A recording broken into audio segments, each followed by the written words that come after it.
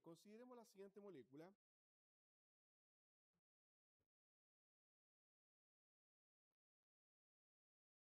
Consideremos la siguiente estructura que la vamos a hacer reaccionar con ácido clorhídrico. Bueno, lo primero, este compuesto, ¿qué es lo que es desde el punto de vista ácido-base?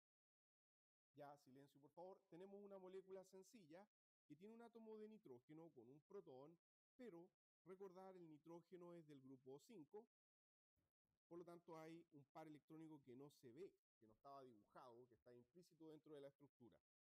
Ese compuesto o esa molécula se llama piperidina. La piperidina es una base orgánica. ¿Por qué es una base? Porque formalmente hablando es una amina. Por lo tanto, ustedes ya saben que el pKa de una amina es alrededor de 9, siempre y cuando no sufra alguna perturbación adicional del medio.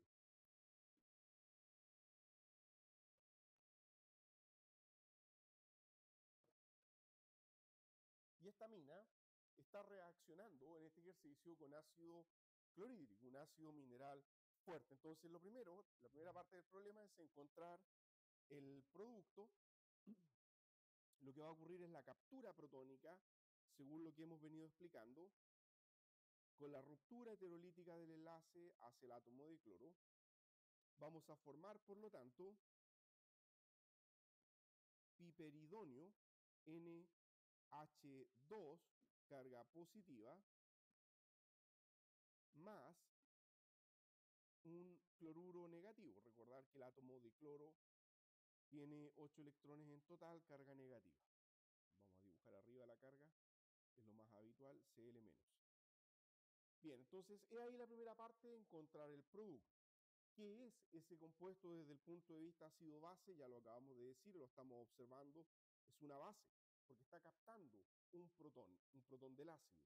Piperidina es una base orgánica. Bien, entonces esa es la primera parte, era encontrar el producto.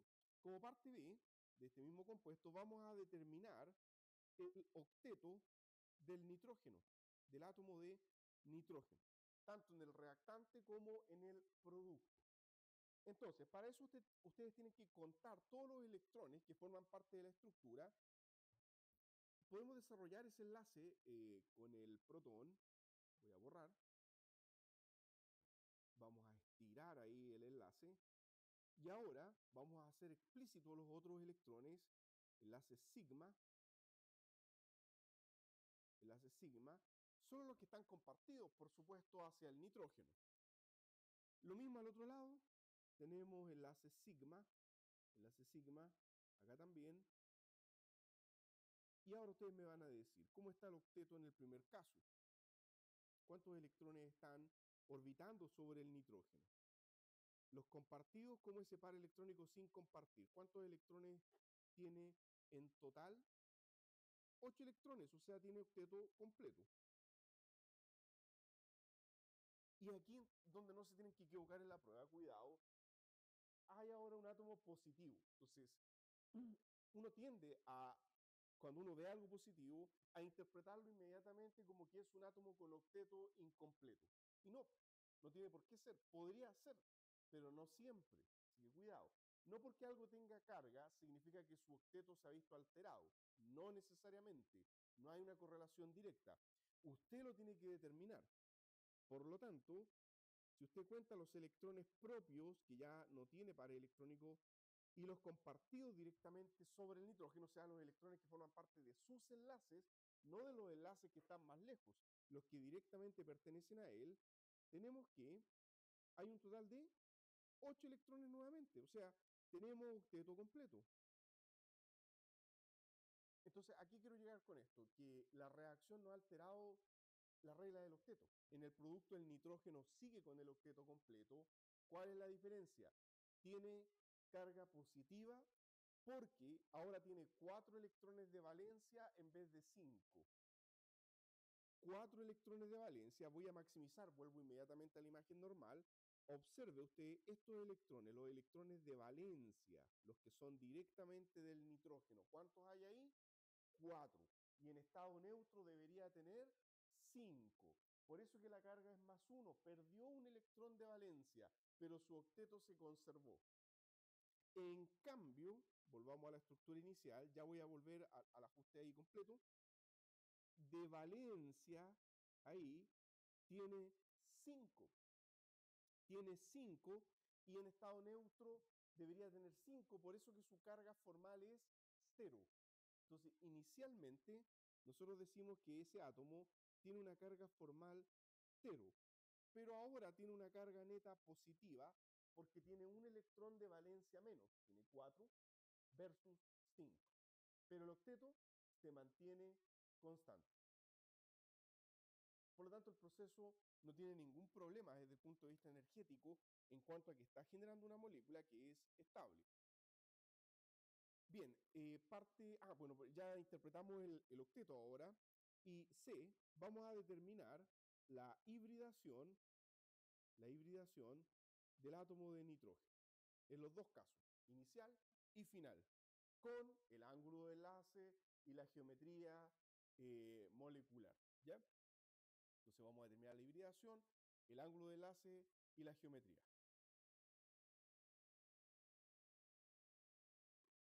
Bien, entonces, en el primer caso, ¿qué me pueden decir ustedes? Yo puedo volver a dibujar la molécula. La vamos a volver a dibujar. Inicialmente, tenemos que está neutro y por lo tanto el número de hibridación de ese nitrógeno, el número de hibridación inicial es, ¿cuántos enlaces tiene el nitrógeno? 3. Muy bien, entonces número de hibridación sería 3 más, ¿cuántos pares electrónicos? ya el que no está dibujado y que estaba adelante, 1, perfecto. Entonces hay un par electrónico que le sobra, 3 más 1, entonces tenemos que 4 orbitales se están hibridando. Hibridación SP3, perfecto. Geometría electrónica tetraédrica. Y ahí es donde ahora ustedes se detienen a pensar un poco. Pero ¿es eso igual que la geometría molecular? No. Ya electrónicamente tenemos un tetraedro. Eso significa que si yo hago una ampliación de ese nitrógeno, tenemos que ese nitrógeno distribuye sus electrones de forma tetraédrica. ¿Qué electrones distribuye? Dirán ustedes. Bueno, si es que yo lo dibujo más o menos armónico, esto ese nitrógeno tiene un protón, le sobró un par electrónico y está conectado al resto del ciclo y eso lo podemos abreviar así. Es una manera abreviada de decir que el resto está ciclado, ¿ya? Entonces, tenemos que, desde el punto de vista electrónico, es un tetraedro, pero uno de los vértices, uno de los extremos de este tetraedro está siendo ocupado por un par electrónico. Si usted en su mente borra ese par electrónico, ¿qué figura geométrica se le va a generar? ¿Piramidal o trigonal plana? Si borramos el par electrónico, mire, ¿qué pasa si hubiésemos dibujado esta cosa de esta manera? Nitrógeno, hidrógeno, par electrónico y, ¿no es cierto?, el, resto del ciclo. Bueno, aquí debería dibujarlo sobre el plano ahí. ¿ya? Y usted dice, yo quiero dibujarlo así. Perfecto, ningún problema, es lo mismo. Pero ahí se hace evidente que si ahora usted borra de su imaginación el par electrónico, ¿qué figura geométrica en realidad tiene? Al borrar, ¿tiene trigonal plano o, queda así como un trípode? ¿No es cierto que queda con forma de trípode? O sea, es una disposición piramidal. La geometría molecular es piramidal. Ya, yo sé que alguien me va a decir, pero eh, eh, en la de un comienzo se ve como si fuera plano.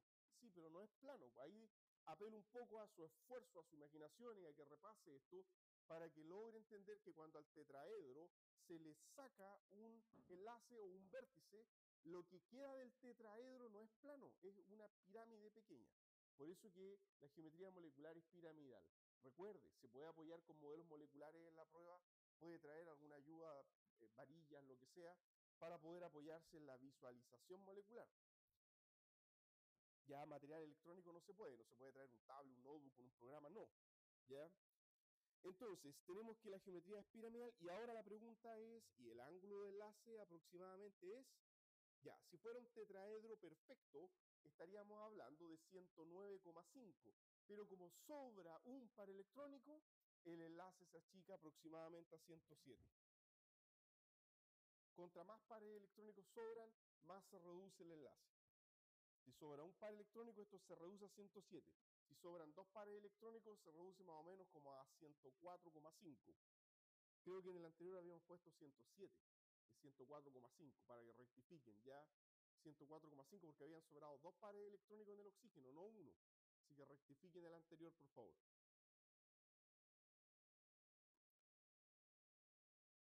Ya, entonces vamos al de al lado ahora. eh, cambió en la molécula de al lado en cuanto a que se protonó. Por lo tanto, vuelvo a dibujarlo acá. Entonces aquí es donde uno dice, las cosas cambian ahora porque hay un protón de más en la estructura, pero usted aplica la misma estrategia. Nitrógeno positivo. ¿Cuántos enlaces tiene? ¿Tiene tres? ¿O no? ¿Sigue teniendo tres enlaces o no? No, tiene cuatro. Pero, ¿qué pasó con los pares electrónicos? ¿Qué pasó? El par electrónico se transformó en un enlace, o sea, ahora es cero pares electrónicos. La carga positiva no cuenta, error de prueba, ese más uno lo suman acá. No, la fórmula dice enlace más pares electrónicos. Una carga positiva no es un par electrónico, es una deficiencia de un electrón.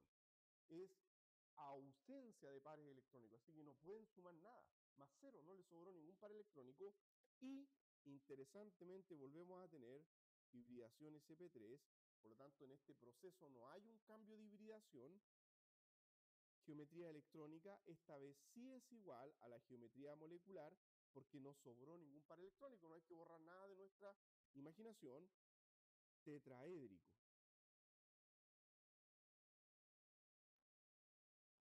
Es un nitrógeno tetraédrico.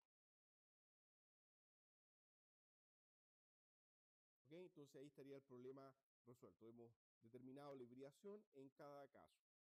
Y D, D, vamos a hallar la fórmula inicial. ¿Ok? Entonces, la fórmula inicial. ¿Cuánto carbono? ¿Cuánto hidrógeno? ¿Cuánto nitrógeno? Ya. Carbonos. ¿Cuántos carbonos hay? ¿Quién da menos? Cinco, muy bien, C5. Hidrógeno, ahí donde todos se equivocan, ¿ya? Pero nitrógeno hay uno solo, así que ahí no hay que hacer nada. Cantidad de nitrógeno es uno, pero aquí es donde está la problemática. ¿Cuántos hidrógenos tiene esta estructura? Hay uno arriba. Está dibujado porque está unido al heteroátomo. ya, entonces, ya, perfecto. Ahí tenemos que ir contando por cada carbono 2, 4, 6, 8, 10 y efectivamente 11. Tenemos 11 hidrógenos. Cada uno de esos vértices es un CH2. Por cada uno de esos carbonos, voy a dibujar solo uno, hay dos hidrógenos porque la valencia del carbono es 4. Entonces, por cada uno de ellos hay dos hidrógenos. C5H11N. Ahí tenemos la fórmula.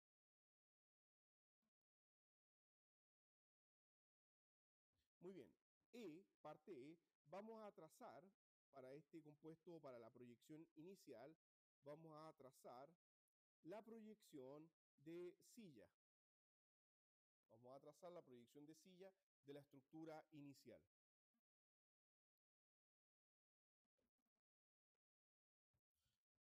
¿Cómo es eso de la silla? Habíamos dicho que el ciclohexano tenía proyección de silla. Sí, pero cualquier otra molécula de 6 que sea no aromática, o sea, esto no es un compuesto plano, podemos trazarlo en proyección de silla.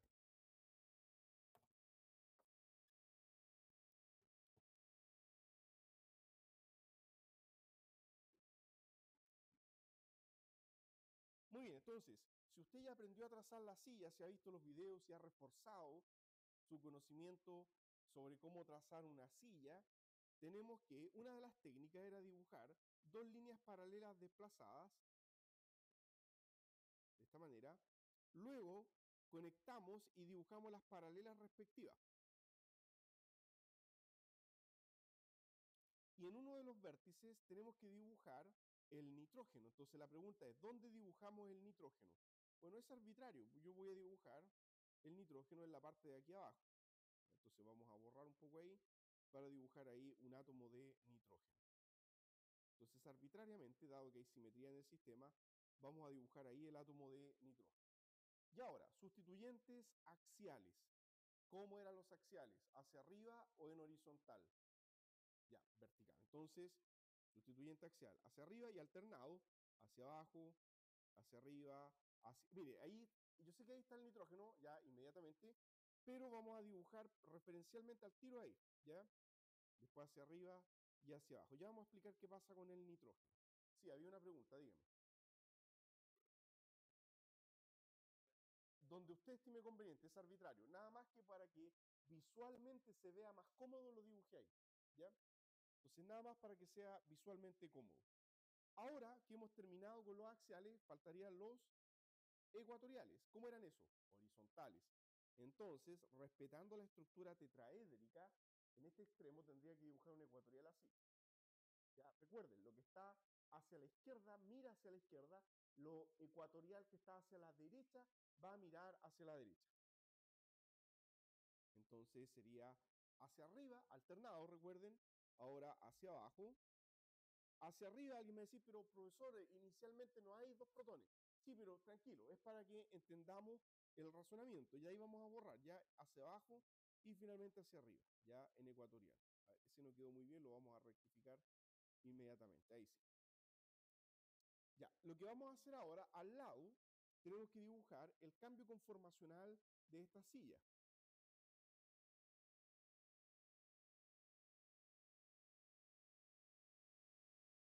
el quiebre o flip termodinámico a temperatura ambiente, esto se va a quebrar y por lo tanto el vértice que está abajo, que sería el nitrógeno,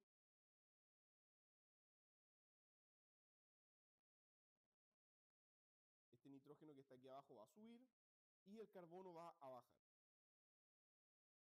El carbono de la posición 4. Ya recuerden que todo esto se va a mover en el espacio. Entonces tengo que el nitrógeno es 1 y aquí tengo un carbono de la posición 4. Numeré arbitrariamente así para hacerles ver de que el vértice, el nitrógeno 1 sube y el carbono 4 va a bajar.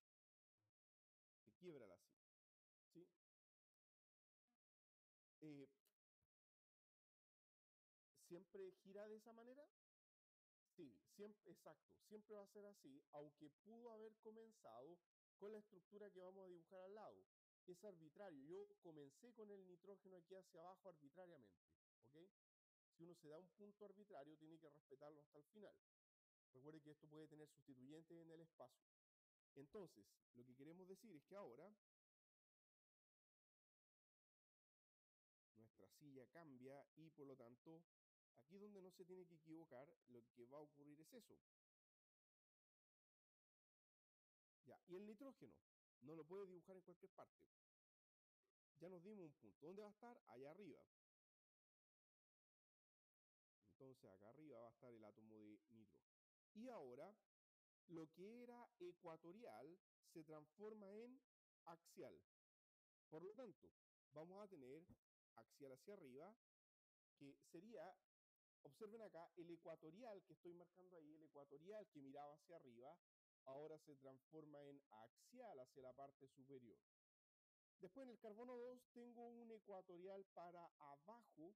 Ese ecuatorial se transforma ahora en, en axial hacia abajo. Bueno, ahí yo lo puedo dibujar un poquito más largo para que se vea más armónico, como que pasa por detrás del plano visual, ¿ya? Después axial para arriba, axial hacia abajo, etcétera. Ya axial hacia arriba y axial hacia abajo. Y lo que era ecuatorial eh, perdón, eh, axial inicialmente ahora pasa a ecuatorial. Aquí tengo un axial en azul hacia abajo y ahora se sigue para abajo, pero en ecuatorial. Hacia abajo, hacia arriba, hacia abajo, etcétera. Hacia arriba, arbitrariamente, ¿no es cierto? Partimos de esa forma, entonces respetamos hasta el final este orden. Entonces, el axial hacia abajo sigue para abajo, pero en ecuatorial. lo que está a la derecha mira hacia la derecha, lo que está hacia la izquierda queda mirando hacia la izquierda. Entonces con esta técnica queda una estructura bastante coherente, pero ahora tenemos que dibujarle el protón al nitrógeno. Entonces la pregunta es, profesor, ¿dónde dibujo el protón? En cualquier parte, pero tenemos que respetar ese punto de vista. Entonces, arbitrariamente, mire, aquí es donde tiene que tener cuidado, que arbitrariamente dibujo el protón acá. Espérense, vamos a, vamos a borrar. Ahora sí, ahí, si dibujamos el protón hacia arriba, pregunta, aquí está el protón, el NH, el protón NH está hacia arriba, pero ¿en qué disposición? ¿Axial o ecuatorial? Ecuatorial, muy bien. Y por lo tanto eso implica que el par electrónico va a estar hacia abajo. Y ese par electrónico yo lo puedo representar ahora con un globito, eso significa la nube electrónica. Recuerde usted que esta nube electrónica, esto no tiene el mismo volumen que un hidrógeno. Esto es un esquema, esto no es visible, no es que haya un globo que le sale al átomo para afuera, es una manera ilustrativa de mostrar que esta es la disposición espacial del par electrónico, que queda en ese ángulo. Pero el par electrónico es algo que no se ve, es despreciable en tamaño respecto, por ejemplo, al protón. Entonces, recuerde, esto no significa un enlace hacia dos electrones, no, eso no existe. Ya esto es un esquema, una forma de entender cuál es la disposición estereoespacial de los sustituyentes. Y ahora, debido a este quiebre termodinámico, ahí es donde ahora yo le hago la pregunta, ¿dónde queda el protón? ¿Dónde lo dibujo? Si aquí dije arriba, en el conformero de la derecha, sigue o tiene que seguir arriba. Va a seguir arriba y por lo tanto tengo que dibujarlo en axial.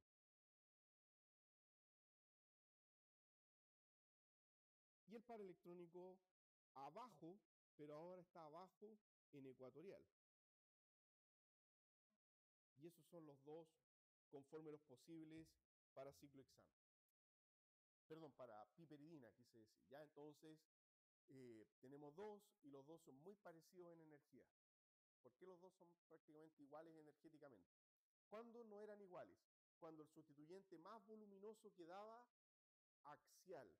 Porque cuando algo queda axial, algo grande, habíamos dicho que los sustituyentes axiales tienen interacciones 1,3 diaxiales. Pero en el conformero 2, ¿hay interacciones 1,3 diaxiales en puro hidrógeno? No. Y este otro tiene el protón en ecuatorial y un par electrónico en axial. Entonces, prácticamente no hay diferencia energética. Porque no hay algo diferente a hidrógeno, o mejor dicho, no hay algo más grande que hidrógeno en disposición axial. Por eso que ambos tienen prácticamente la misma energía, la misma probabilidad de existir. Ahora, si ustedes me preguntan a mí, eh, técnicamente, ¿cuál de los dos es aún más favorable? Probablemente hay una pequeña diferencia y el primero sea un poquitito más estable, ya, pero es despreciable eso.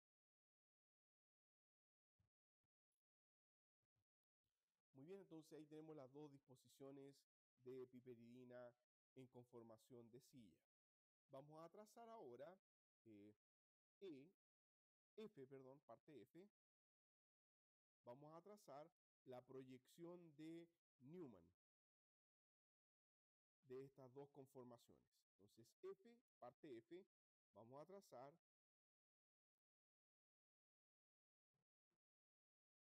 la proyección de Newman del conformero 1 y el conformero 2. ¿Ok? Y tenemos que otra vez darnos un punto eh, de vista para poder trazar la proyección de Newman. Podríamos eclipsar sin duda alguna eh, a partir del nitrógeno para que el átomo de nitrógeno sea el más interesante de ver en los globos. Siempre en las proyecciones de Newman, eh, la parte más interesante hay que tratar de verla en los globos, ¿ya? Entonces, podríamos decir que vamos a ver la molécula desde acá y vamos a eclipsar el enlace 1.6 con el enlace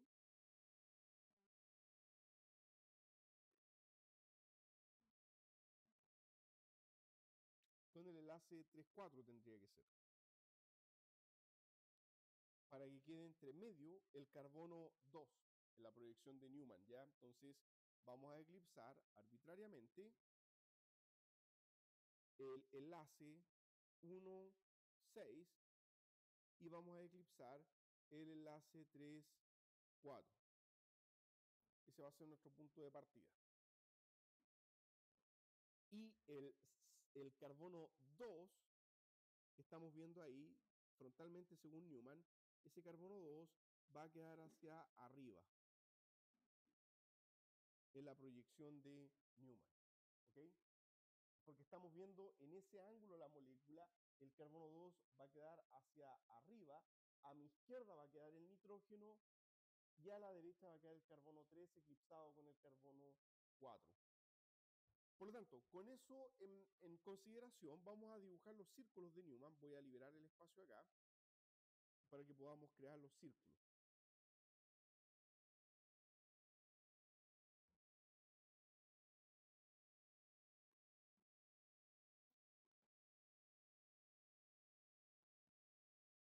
Entonces tenemos esto, ahora conectamos los círculos.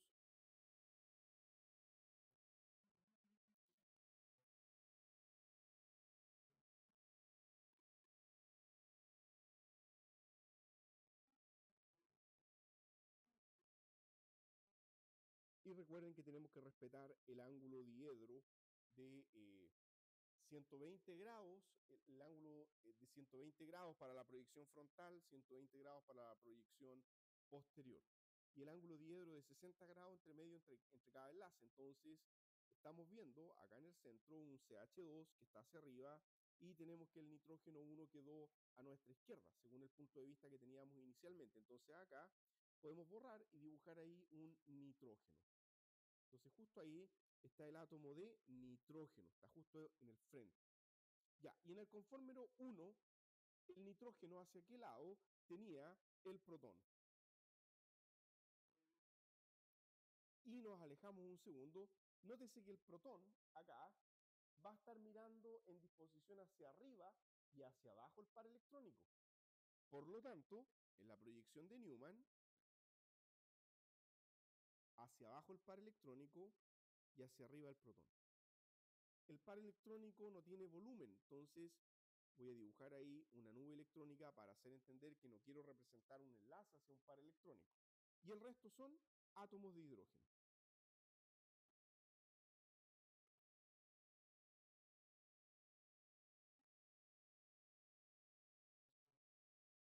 Y ahora, después del flip termodinámico, entonces tenemos ahora que por efecto de la temperatura, ¿qué va a ocurrir?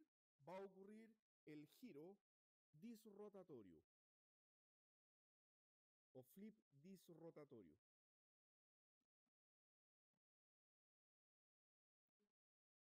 Donde el primer círculo de Newman, por así decirlo, gira hacia adentro y el otro también, pero en sentidos opuestos. Debido a esto, entonces, la proyección de Newman del conformero 2 va a ser como sigue.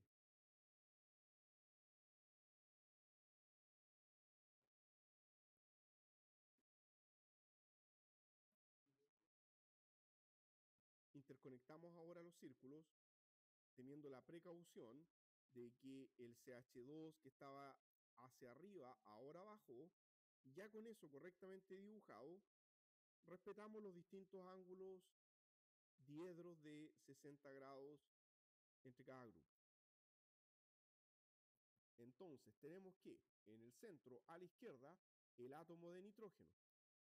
Eso es lo más importante. El átomo de nitrógeno tenemos que dibujarlo a la izquierda, ahí estaba, entonces quedaría así. N. Y el par electrónico estaba hacia abajo, ¿ok? Entonces sigue hacia abajo, pero en disposición, en disposición ecuatorial esta vez. ¿Qué más tenía ese nitrógeno? Un protón. Hacia arriba, sí, pero ahora está hacia arriba axial. El protón que era ecuatorial, ahora es axial. Y el resto son los hidrógenos restantes de toda la estructura, incluyendo los CH2 comunicantes acá.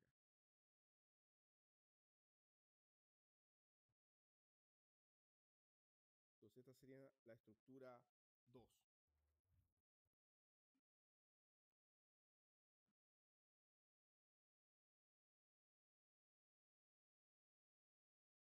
Entonces giró hacia adentro de manera disrotatoria porque una gira en sentido horario y el otro en sentido antihorario, este CH2 baja ahí está, el, par el protón del nitrógeno sube axial, el par electrónico queda ahora en ecuatorial.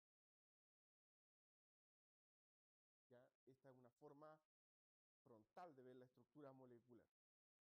Recuerden, no hay, prácticamente no hay diferencia energética entre uno y el otro. Son los dos súper estables, el 1 y el 2. Porque no hay interacciones 1,3 diaxiales. Bien, problema 3, creo que este era el 2, ¿no es cierto? Entonces ahora problema 3. Ya, 5 segundos para que terminen de copiar.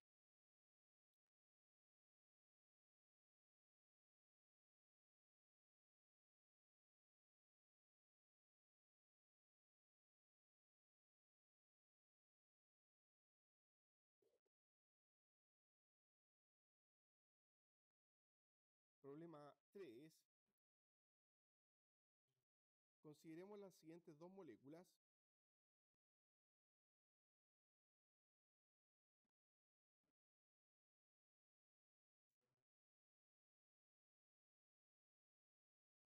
Determinar cuál estructura es más ácida y por qué. Determinar cuál estructura es más ácida y por qué. ¿Qué es lo que vamos a echar mano acá? Dentro de la serie de eh, contenidos iniciales estaban los criterios de estabilidad y reactividad en química orgánica. Y los criterios de estabilidad y reactividad en química orgánica se pueden sistematizar como el octeto. Si algo tiene octeto completo es estable. Si algo no tiene octeto completo es reactivo, inestable. El criterio de electronegatividad. Los átomos electronegativos atraen electrones hacia sí, los electropositivos no el criterio de tamaño atómico. Un átomo grande estabiliza mejor una carga negativa que un átomo pequeño y viceversa cuando es carga positiva. Y criterio, por ejemplo, de resonancia. Cuando una carga se mueve por resonancia, se estabiliza por deslocalización electrónica, mientras que cuando está focalizada y no hay resonancia, es más inestable. Bien, entonces todos esos conceptos los tienen que repasar, están ahí inicialmente y los vamos a aplicar ahora. Y aquí tengo dos estructuras que químicamente, ¿qué es lo que son? En base a lo que estábamos definiendo hace poco. Ácidos o bases. Ácidos, ¿no es cierto? Entonces, en los dos casos tenemos que hay un ácido carboxílico en la estructura. Ahí está. Ácido carboxílico y ácido carboxílico. Tenemos que, como los dos son ácidos carboxílicos, ambos van a liberar el protón.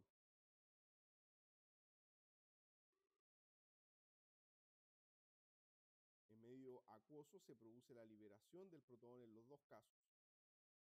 Y por lo tanto, en los dos casos vamos a generar un anión carboxilato.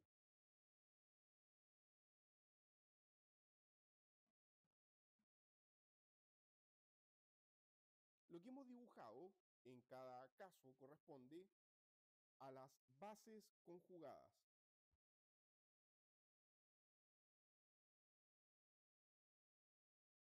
Entonces, ahora podemos hacer un análisis. Lo más correcto es hacer el análisis sobre las bases conjugadas o sobre las especies conjugadas. Para poder determinar cuál especie es más ácida, lo que uno se tiene que preguntar es cuál especie conjugada es más estable, cuál tiene mayor probabilidad o mayor tendencia de formarse, porque la especie que se forme más fácilmente va a ser la que provenga del ácido más fuerte. El ácido más fuerte es el que libera el protón más fácil, más rápido y por lo tanto genera la base conjugada. Entonces, tenemos que, en el primer caso, bueno, ahí nos faltó el átomo de cloro. En el primer caso, el anión, el oxígeno negativo que está en resonancia, está experimentando de parte del átomo de cloro un efecto electroatractor. La electronegatividad del cloro es 3,5. Entonces, el cloro está ejerciendo un fuerte efecto inductivo. Tenemos que hay un efecto inductivo, podemos también abreviarlo así, como una sumatoria de vectores hacia el cloro. El cloro está ejerciendo un efecto inductivo. ¿De qué tipo? Electroatractor. Electroatractor. Entonces, ese cloro está estabilizando o desestabilizando a la base conjugada. Si lo que está haciendo es que los electrones de alguna manera fluyan y se distribuyan más a lo largo de la conectividad sigma. No es una resonancia, cuidado, ya no es un movimiento de electrones a través de átomos con hibridación sp2. No, es un efecto inductivo, es un efecto electroatractor a distancia. ¿Eso qué, qué es lo que hace? ¿Favorece la estabilización o la desfavorece? ¿Qué les dice el instinto? Si la carga ya no está localizada, se distribuye ahora. Favorece la estabilización. Entonces vamos a decir que ese átomo de cloro permite una mejor estabilización de la base conjugada. Este efecto estabiliza la base conjugada.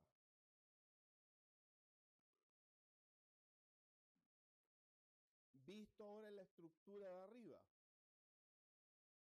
si alguien quiere hacer el análisis de arriba es más o menos parecido.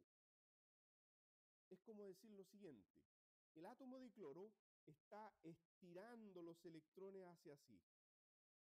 Entonces, si el cloro está atrayendo los electrones hacia sí, los está tirando, ese protón es más fácil o más difícil de sacar si le estamos robando electrones. Va a quedar, ese enlace se está fortaleciendo, el OH se está fortaleciendo, se está debilitando. Y el cloro allá a la distancia le está quitando los electrones. Se está debilitando, entonces más fácil o más difícil sacar el protón. Más fácil. Por lo tanto, tenemos que es más ácido. Tenemos entonces que este cloro acético, ácido cloroacético, posee mayor, el ácido cloroacético posee mayor acidez porque en el otro caso no tenemos este efecto inductivo, no hay cloro, no hay nada electronegativo que compense o que haga lo mismo que el cloro. Entonces posee mayor acidez. En el otro caso, no. En el otro caso tenemos un metil, CH3, en vez de un cloro. Y los metiles, etiles, propiles, lo que sea, cadenas hidrocarbonadas, tienen un efecto inductivo inverso. Donan carga. Efecto inductivo donante de carga. O sea, le están inyectando electrones al oxígeno, pero el oxígeno ya tiene electrones. Entonces, favorece o empeora la estabilidad. Si el oxígeno ya está con electrones y más encima le estamos a la distancia entregando más electrones, empeora la estabilidad. Por lo tanto, tenemos que el ácido inicial es menos ácido. El ácido no libera el protón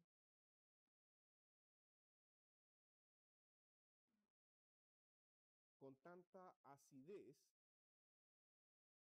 como el ácido cloroacético porque genera una base conjugada, y ahí la explicación, porque genera una base conjugada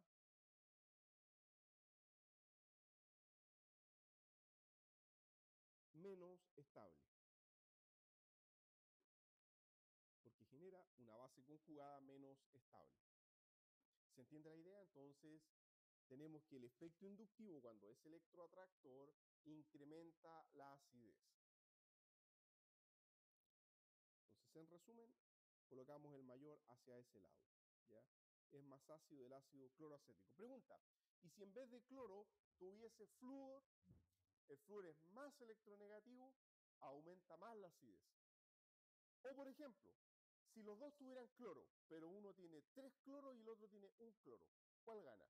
Con tres cloros. Tiene triple efecto atractor. Cuatro. Ya un segundo para que terminen de copiar la información. Cuatro, vamos a comparar las siguientes dos moléculas. Silencio, por favor. NH versus NH sin doble enlace. Entonces la pregunta es cuál es más básica y por qué. Tenemos que la primera estructura corresponde a pirrol y la segunda corresponde a pirrolidina. Entonces, ¿cuál estructura es más básica y por qué? Bien, en el caso de pirrol, hay un par electrónico, el nitrógeno es del grupo 5, hay un par electrónico que no está dibujado, y en el caso de pirrolidina, también, un par electrónico. Entonces, en primera instancia se ven parecidos, iguales, pero no lo son. Pirrol se caracteriza porque posee una deslocalización del 100% del par electrónico. Se dice que pirrol es lo que se llama un anillo aromático. Como aromaticidad lo vamos a ver más adelante, no me voy a detener en mucho detalle ahí. Pero lo que importa acá es la resonancia del par electrónico. El par electrónico está en resonancia. En otras palabras, ese par electrónico que vemos ahí en pirrol está deslocalizado. Es un par electrónico deslocalizado. Y para que pueda ser base un nitrógeno, tiene que tener un par electrónico localizado. Tiene que ser un par electrónico que se pueda protonar. Esa es una buena base. Una buena base, repito, es aquella que tiene el par electrónico localizado y por lo tanto puede captar protones. Si el par electrónico se deslocaliza, si se va de ahí, deja de ser una base. En cambio, entonces, marquemos al tiro para cerrar la idea inicial. Acá a la derecha, en pirrolidina, el par electrónico, en cambio, ahí está 100% localizado. Y por lo tanto, si está localizado, quiere decir que ese nitrógeno es básico. ¿Qué significa básico? Se protona con facilidad. Porque para que algo se protone, debe estar el par electrónico ahí. Mientras que en pirrol, el par electrónico no está ahí. Y vamos a trazar las resonancias porque eso es parte de la materia que va a ser evaluada. Cuando decimos que está deslocalizado, nos referimos a que el par electrónico se mueve hacia otra región de la molécula. Entonces aquí vamos a reducir un poco la imagen y vamos a explicar la resonancia completa del sistema. Bien, tenemos que el par electrónico se va a mover hacia la posición adyacente. Y por lo tanto vamos a generar una carga negativa en esta posición del anillo. Flecha de resonancia.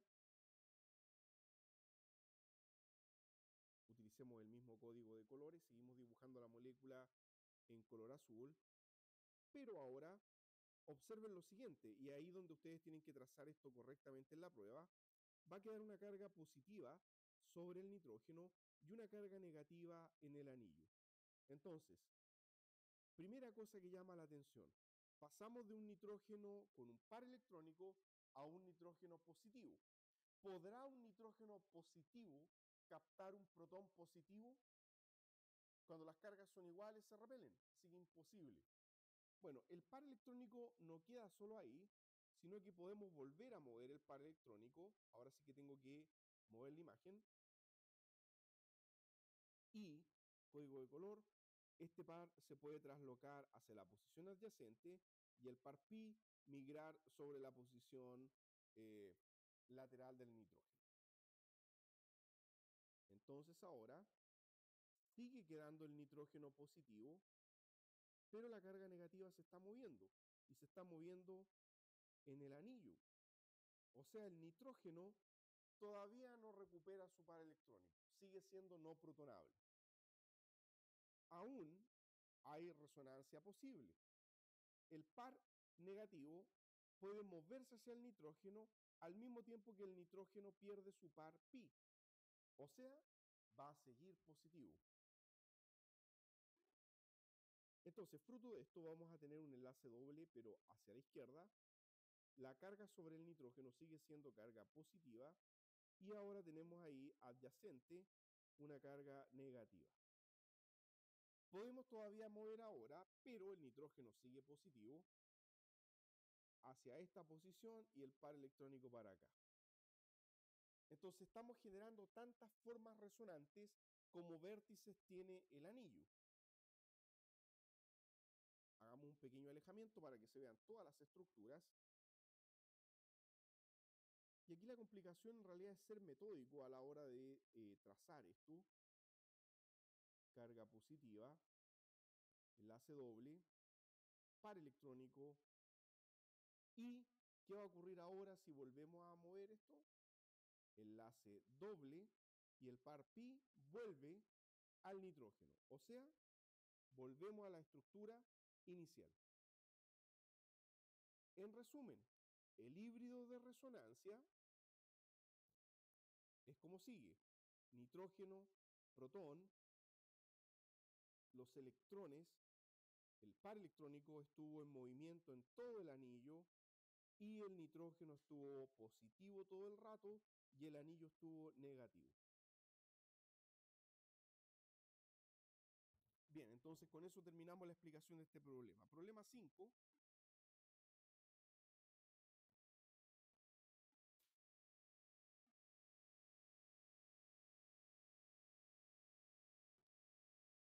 Consideremos el siguiente compuesto, un terpeno de origen marino. Bueno, una parte del terpeno en realidad, para ser honesto, la molécula global es mucho más complicada. Se encontró en una alga marina el siguiente compuesto de tipo terpénico.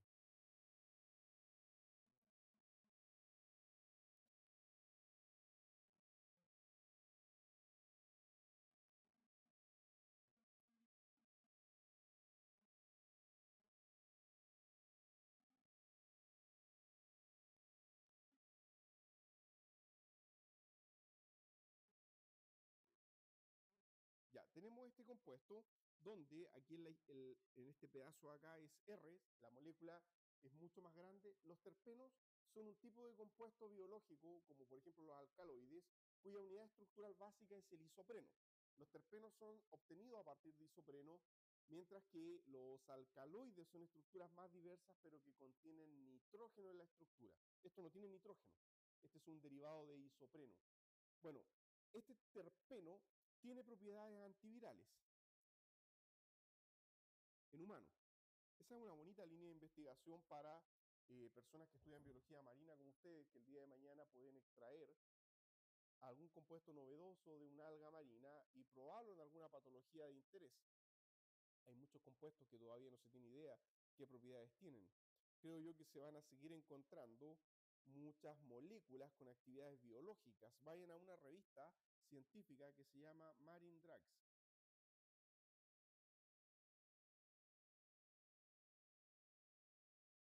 es de acceso abierto, así que pueden entrar hasta de la casa, y van a encontrar una serie de artículos de investigadores que extraen de alguna alga marina, de un molusco, de alguna especie extraña, moléculas muy particulares y las evalúan en cáncer, en bacterias, en hongo, etcétera, y han encontrado propiedades muy interesantes. Bueno, este terpeno tiene varias complejidades, por ejemplo, los enlaces dobles, hay un centro quiral, y la primera pregunta es determinar la configuración E o Z de los enlaces dobles. Entonces, letra A, vamos a determinar la isomería geométrica.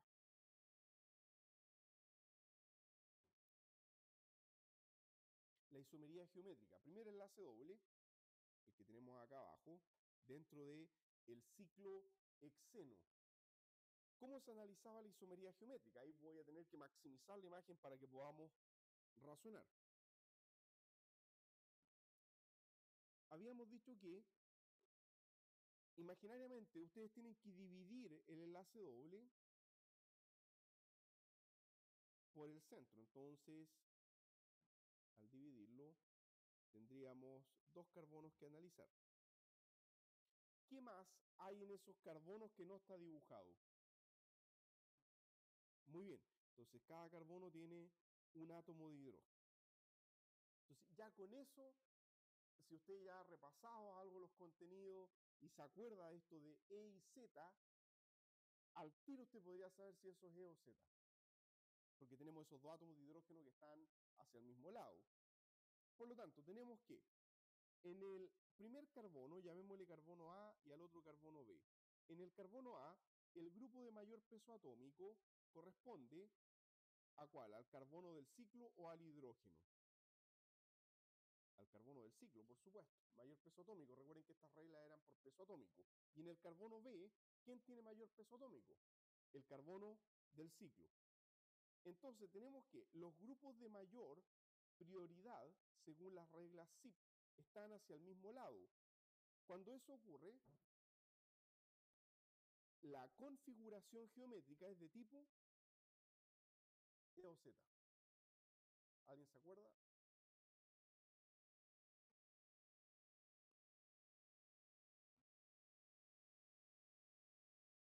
Grupos de mayor prioridad, entre paréntesis peso atómico, hacia el mismo lado, hacia eh, la misma cara.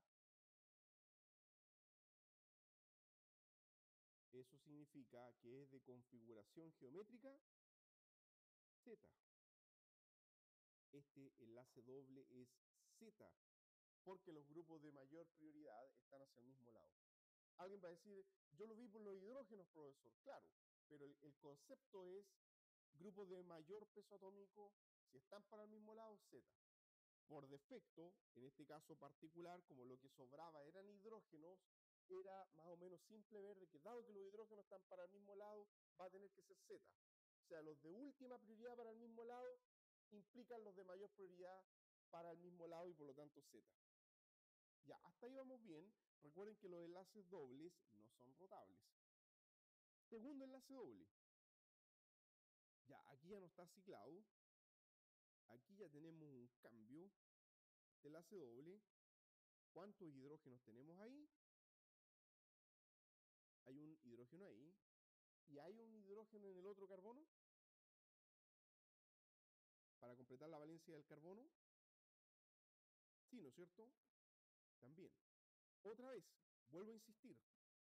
Si no han repasado esto, un enlace doble no es rotable, por eso que determinamos configuración E o Z. De nuevo, alguien decir, profesor, ¿con los hidrógenos puedo guiarme al tiro? Sí, pero conceptualmente lo que uno ve es el grupo de mayor peso atómico, entonces llamémosle carbono P y carbono Q. En el carbono P, ¿quién tiene mayor peso atómico? El carbono, CH2. Y en el carbono Q, el carbono carbonílico. Como pueden ver, los grupos nos han quedado en lados opuestos, los grupos de mayor peso atómico. Por lo tanto, este alqueno es, es E, E mayúscula, ¿ya? Ahora, antiguamente se le llamaba cisotrans, o sea, el Z sería cis, el E sería trans, ya no se ocupa esa terminología, sino que E y Z es lo más correcto para isomería geométrica de alqueno. Problema resuelto, ¿ya? Porque no hay más, a ver, no, no hay más. Muy bien, B, estereoisomería.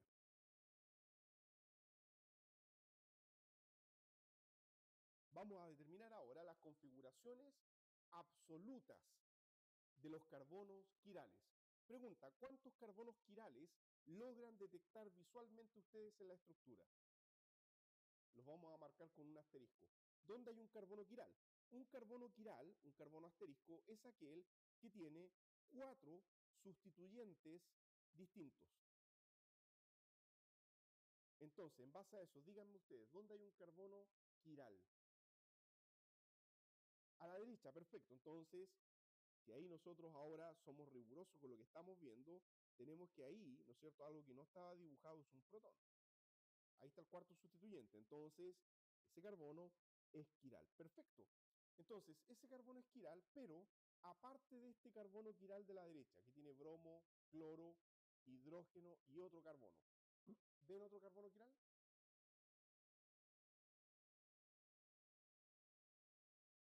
CH2 no es quiral. Carbonilo no es quiral. Alqueno tampoco, porque estos son EOZ.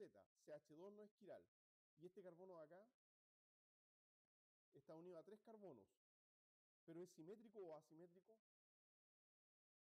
¿Qué, ¿Cuál es el cuarto sustituyente de este carbono que estoy marcando ahí? Ya, un protón. Ese carbono también es quiral, solo que no está definida su estereoquímica. Cuando no está definido, recuerden que decíamos que era R, S, o sea, ese centro es un centro racémico. Nos está informando acá para qué lado vienen los grupos, para adelante, para atrás, ¿dónde está el protón? ¿El protón quedó para adelante o quedó para atrás? No lo sabemos. No está informado. El protón podría estar para adelante y va a dar cierta configuración si está para atrás es diferente. Entonces, no podemos saber en ese centro quiral si es R o Z. Además, como ya dijimos, este terpeno es más grande que esto y en la posición donde está el grupo R, no confundir con R de, quiral, R es el resto de la molécula acá a la izquierda. Entonces, acá en este R, este carbono, donde R es algo mucho más grande, ese carbono también va a ser quiral. Entonces lo vamos a dejar marcado con un asterisco, pero no está especificado si está para adelante, si está para atrás, qué es lo que es R, el resto. Entonces, como no sabemos qué es el grupo R, no podemos asignar configuración absoluta. ¿A cuál le podemos asignar? Al primero, al bromado. Entonces, en el centro bromado, ¿qué tenemos ahí? R o S. Muy bien. Método para hacer esto. Peso atómico. ¿Quién tiene mayor peso atómico? El peso atómico del bromo es 79. Eh, el peso atómico del cloro es 35. El peso atómico del carbono es 12. Profesor, no me lo sé. Ya, se les va a dar una tabla periódica al principio de la primera página de la prueba. No hay excusa. Ahora es aplicar solamente el orden de peso atómico. Primero, el bromo. Segundo, el cloro. Tercero, ¿quién es el tercero en prioridad? Carbono, muy bien. Y el cuarto, el protón. Ya, entonces, si ustedes giran ahí, ojo, que vamos, el protón no está para atrás, ¿no es cierto? El que quedó para atrás es él. ¿Quién está para atrás ahí? El cloro, ya. Entonces, tengan en cuenta eso. El protón no quedó para atrás. Entonces, ustedes dicen, ah, se ve como si fuera R, pero el protón no está para atrás. Por lo tanto, ¿qué configuración es? S, muy bien. Y ahí está la respuesta correcta. Entonces, en la prueba se les va a dar alguna estructura de algún compuesto, probablemente un compuesto natural, no más complejo que eso, un terpeno o un alcaloide, determinar este tipo de cosas, ¿ya? Y en esa misma estructura, no lo vamos a hacer acá, pero en esa misma estructura se les podría preguntar, indique el nombre de los grupos funcionales, indique la fórmula química del compuesto, indique la hibridación y la geometría de tal o cual átomo que está marcado en la estructura. O sea, de una pequeña molécula se pueden preguntar muchas cosas. Bueno, pues solamente eso podríamos hacer. A ver, pregunta, ¿qué grupo funcional eh, ven ustedes químicamente ahí? Hay halógenos, sí, pero aparte de eso, ¿cómo le llamarían el grupo funcional donde está el carbonilo? Me refiero acá. Ya, perfecto, por ahí lo escuché. Cetona. Muy bien, esto no es un ácido, no es un aldehído, no es un éster, no es una amida, es una cetona, porque hacia los dos lados hay carbono hacia la derecha, carbono hacia la izquierda. Eso coincide con la definición de cetona. Así que ese pequeño cuadro de grupos funcionales tienen que repasarlo y aprenderlo para la prueba. 6. Ok, problema 6. Consideremos el siguiente compuesto químico.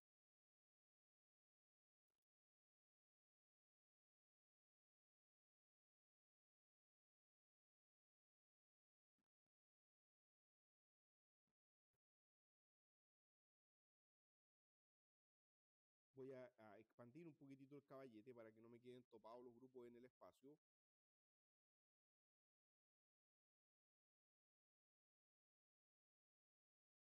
Vamos a determinar, lo primero es determinar la configuración absoluta de cada centro quiral. Determinar la configuración absoluta de cada centro quiral. Tenemos en este caso que el compuesto tiene una fórmula del tipo si contamos la cantidad de carbonos, Por ejemplo, acá desde el carbono, ¿no es cierto?, que está más cerca del alcohol, tendríamos 1, 2, 3, versus el otro que daría también 3, y eh, pasamos cerca de un bromo, entonces convendría numerar desde acá.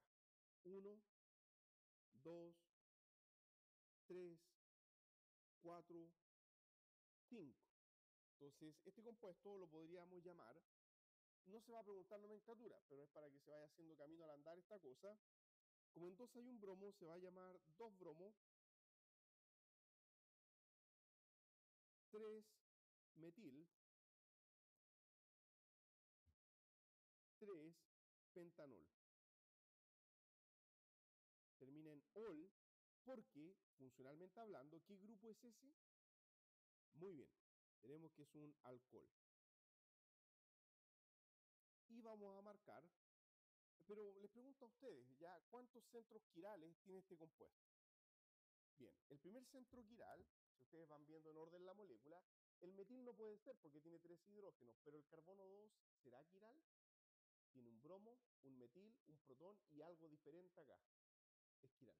Entonces, carbono 2, quiral. Carbono 3 tiene un hidroxilo, un metil, un etil y un resto de molécula. Sí, es quiral. También. Y no hay más. Entonces, ejercítense con la visualización de centros asimétricos. Bien, entonces tenemos esos dos carbonos quirales y de ellos, por lo tanto, tenemos que encontrar la configuración absoluta. ¿Cómo lo hacemos? Lo podemos hacer ahí mismo en la molécula, siempre y cuando usted tenga la visualización suficiente para poder ver cuál es el sustituyente que va a quedar en la cuarta prioridad. Entonces, maximicemos un poquito la imagen. Uno, en el primer caso, el bromo. Luego, ¿quién sigue en prioridad? Regla ZIP. Recuerde la regla ZIP, el diágrafo. Aquí tengo un carbono unido a tres hidrógenos versus un carbono unido a oxígeno. ¿Quién gana? Carbono con oxígeno. Entonces, segunda prioridad, voy a utilizar otro código de color para que no me quede todo marcado de esa forma. Miren, vamos a marcarlo así. Primera prioridad, un recuadro. Segunda prioridad, el carbono unido a oxígeno. Y tercera prioridad, el metil. Entonces, en su imaginación, si usted gira eso, usted dice, yo estoy viendo ahí como que eso fuera S, ¿ya? Pero el protón está hacia adelante. Ahí tiene que hacer un ejercicio de colocarse detrás del plano visual. Es un ejercicio imaginativo, usted lo va a ver desde atrás del plano. Y por lo tanto, si usted ve esto desde atrás del plano, ya tratemos de visualizarlo, ya, ya dijimos que se ve como si fuera eh, S, pero si usted lo ve desde atrás del plano, usted lo va a ver R. Y entonces trata de hacer el ejercicio, o bien, si es que no lo logra ver, simplemente el protón quedó para adelante, por lo tanto es al revés de lo que ahí vemos. Su configuración es R.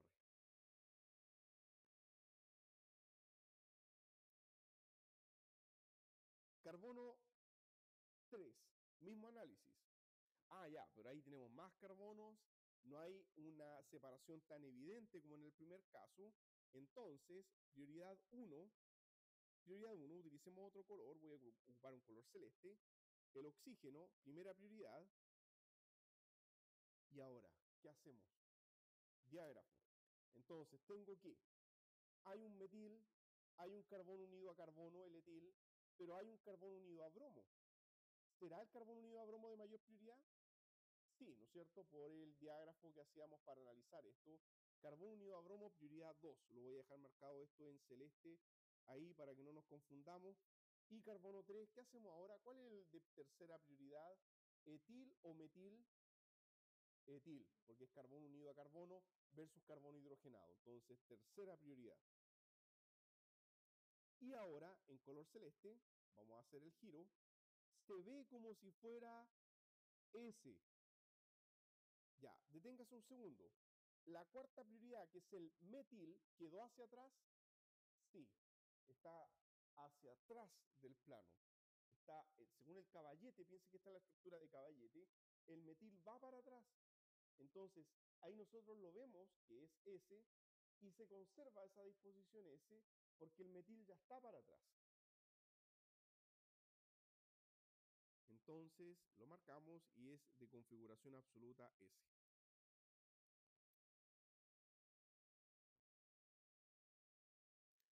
segunda parte del problema, aparte de haber trazado esto de esta forma, ahí se ve la utilidad de un modelo molecular. Si usted trae algún tipo de varilla, palitos de fósforo, lo que sea, va a poder ya armarlo ahí, ¿no es cierto? Le coloca algún nombre a los grupos, pero lo va a poder girar, ver y se va a dar cuenta fácil si es R o S. Bueno, entonces, ahora la parte B sería trazar una proyección de Fischer equivalente a este compuesto. Entonces, parte B, trazar una proyección de Fischer equivalente a este compuesto. Estrategia para resolver esto, vamos a ver la molécula desde arriba. Vamos a ver la molécula desde arriba para trazar la estructura de Fischer. Entonces, para poder resolver el problema, nos vamos a visualizar desde arriba, insisto, para ver la estructura de Fischer y vamos a ver cómo que esto queda aplastado en la proyección de Fischer. Y si lo vemos desde arriba, observen lo siguiente, tenemos un pequeño inconveniente y es que el bromo viene hacia nosotros. ¿Cuál era la, eh, digámoslo así, la eh, convención de Fischer? Para poder trazar un Fischer, teníamos que seguir la convención del cuerpo humano. que de manera normal las extremidades, ¿no es cierto?, eh, como las piernas, flectan hacia atrás y los brazos flectan hacia adelante. O sea, lo vertical abajo tiene que ir para atrás y lo horizontal tiene que ir eh, hacia adelante. Entonces, lo que vamos a hacer es este carbono bromado lo vamos a rotar. O sea, vamos a hacer este movimiento. Esa rotación. Pregunta, ¿esa rotación ¿Es permitida? Sí, porque es un enlace sigma. No es un enlace doble, así que podemos girar. Por lo tanto, al rotar, vamos a tener lo siguiente. Voy a trazar una flecha para allá. Va a quedar rotado.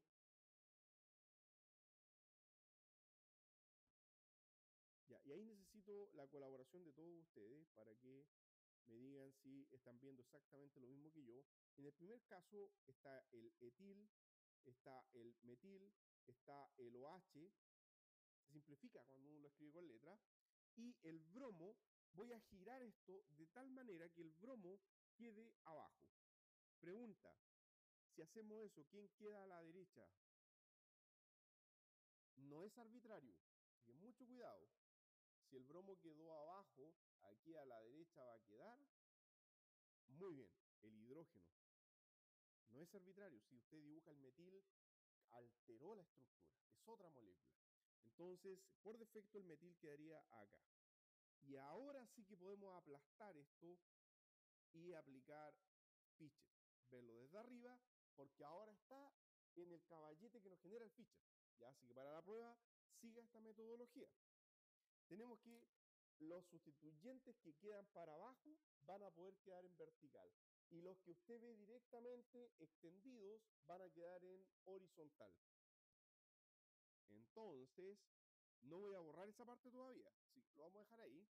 Mire, esto en Fischer estamos diciendo así.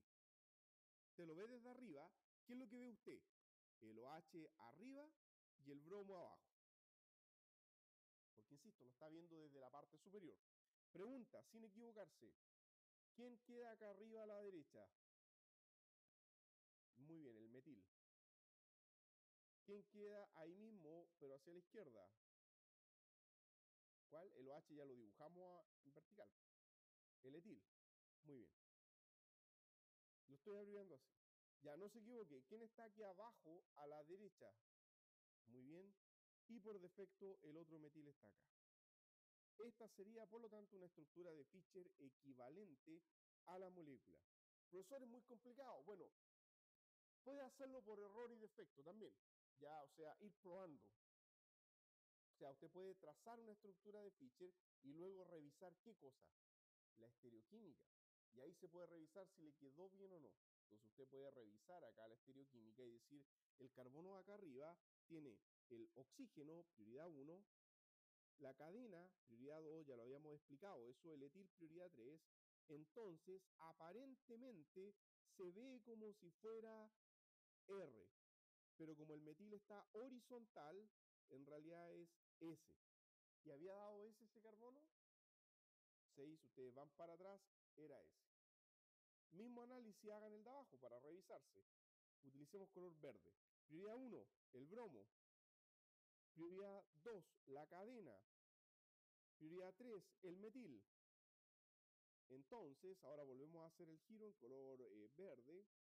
1, 2 y 3. Se ve como si fuera S, pero el protón quedó horizontal. Entonces es R. ¿Y era R? Sí. ¿Se fija? Así que se puede revisar de esa manera. No es tan lento, no le va a consumir mucho tiempo, se le va a dar todo el bloque para que resuelva, así que va a poder revisarse. Ya nadie va a poder decir que por tiempo no logró dar con la respuesta correcta. Muy bien, y el último, si que queda eh, expresado solamente,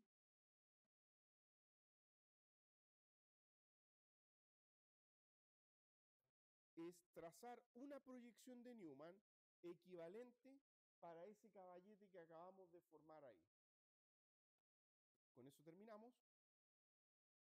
Entonces lo que estamos diciendo es que a partir de este caballete dibuje una proyección de Newman.